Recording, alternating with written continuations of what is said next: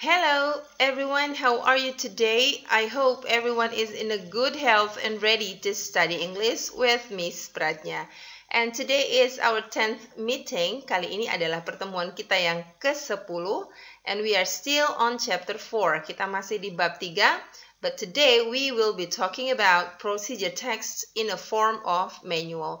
Hari ini kita akan membahas tentang prosedur teks dalam bentuk manual.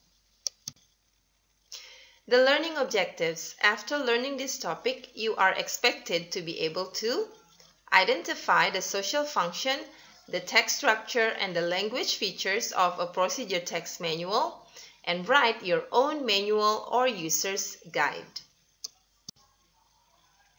What is procedure text manual? Well, everybody, procedure text manual is a text that tells us how to operate electronic appliances, part per part and step by step or we simply call it user's guide. Jadi, prosedur teks manual adalah sebuah teks yang memberitahu kita bagaimana cara mengoperasikan alat elektronik, bagian per bagiannya, langkah demi langkahnya, atau yang secara simpel disebut user's guide. Contoh dari procedure text manual di antaranya how to install a printer to a PC, bagaimana cara menginstal sebuah printer ke PC atau ke personal computer, how to operate a washing machine, bagaimana cara mengoperasikan mesin cuci, how to connect a speaker to a laptop, bagaimana cara menghubungkan speaker ke laptop, how to insert SIM card to a handphone, bagaimana cara memasukkan SIM card ke handphone, and how to use a Magicom dan bagaimana cara menggunakan Magicom. Itu tadi contoh-contoh dari procedure text manual. Well, to understand more about procedure text manual, let's observe this next text. Untuk tahu lebih paham, lebih banyak lagi untuk paham lebih jauh lagi tentang procedure text manual, ayo kita baca teks berikut ini atau kita amati teks berikut ini. Text procedure manual yang Miss beri contoh di sini adalah how to activate a new mobile phone. Parts, bagian-bagiannya. 1. Back 2. USB connector 3. Home 4. Dual speakers 5. Volume button 6. Front camera 7. 3.5 mm headset jack 8. The power button 9 proximity sensor, 10 notification LED, and 11 tray eject hole or SIM card tray. And then let's see the methods or direction. Kita lihat method atau metode atau directionnya, langkah-langkahnya. 1. Insert your SIM card. 2. Turn on your mobile phone. 3. Begin the startup process. 4. Select your wireless network. 5. Give your phone time to activate. 6. Backup your old cell phone data. 7. Get your email number. And 8. Visit your carrier's website to activate. Itu dia contoh procedure text manual how to activate a new mobile phone.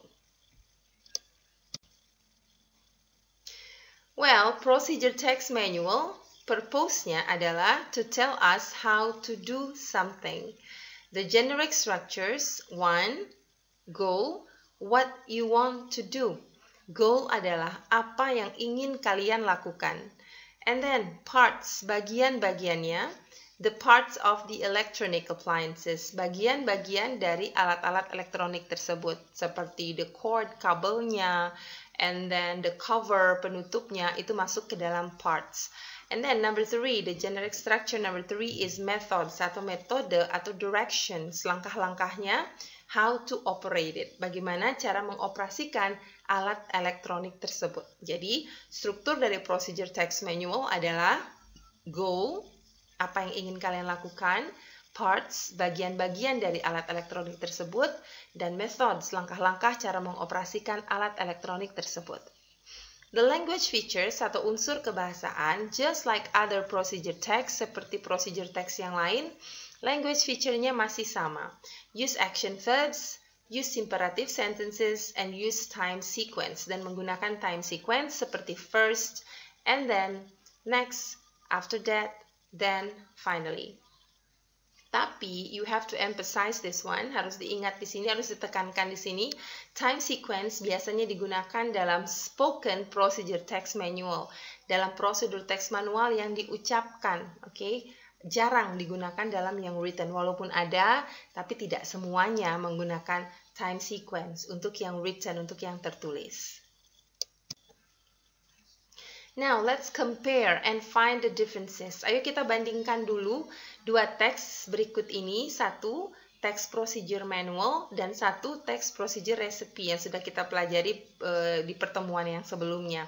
Kemudian temukan perbedaannya. Nah, coba diamati ya. Teks yang pertama, how to activate a new mobile phone, which is a procedure text manual. Dan teks yang kedua adalah how to make fried rice, which is this one is a procedure text recipes. Now, let's see the differences between the two texts. Kita temukan perbedaan antara procedure text manual dan procedure text recipes. Untuk purpose-nya, kita lihat di sini. Procedure text manual, purpose-nya adalah to tell us how to do something. Sementara untuk procedure text recipes, purpose-nya adalah to tell us how to make something. Lihat ya bedanya, how to do something, how to make something. Kemudian the generic structures-nya, untuk yang manual, ada goal, kemudian parts, methods, atau steps. Ada goal, apa yang mau dibuat, parts, bagian-bagian dari alat elektronik tersebut, dan tiga, method, langkah-langkahnya. Jadi apa yang ingin kalian lakukan, bagian-bagian dari alat elektronik tersebut, dan bagaimana cara melakukannya. Sementara untuk generic structure untuk recipes ada goal, apa yang ingin kalian buat, ingredients, bahan-bahannya, method, satu steps, langkah-langkah cara membuat resep tersebut. Jadi perbedaannya di sini ada pada parts, yang ada di manual dan ingredients yang ada pada uh, recipes. Kemudian the language features sama karena dia termasuk dalam procedure text, jadi language featuresnya sama. Use action verbs, use imperative sentences, use time sequence, first, and then, next, after that, then, then, finally. So, perbedaannya ada pada purpose ya, untuk manual to tell us how to do something, dan recipes how to make something. Dan pada generic structure perbedaannya ada pada parts dan juga ingredients. Semoga paham ya sampai di sini perbedaan antara procedure text manual dan juga recipes. Now, kita masuk ke task, tugas. Task 1, tugas 1, state true or false based on the text. Tentukan benar atau salah berdasarkan teks. Ini teks yang pertama, ada dua teks. Teks yang pertama, dan ini adalah teks yang kedua. Ini adalah teks yang kedua, ya.